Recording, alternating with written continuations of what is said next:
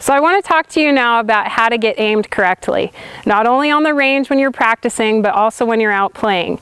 Now, unlike other aiming sports, such as shooting a gun or playing pool, your eyes are right up over the target.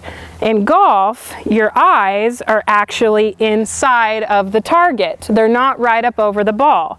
If this is our target line where we want the ball to go, and this is where our eyes are aimed, when you look up, to the target, it's actually going to look as though that your eyes are aimed parallel to the target, not aimed right at the target.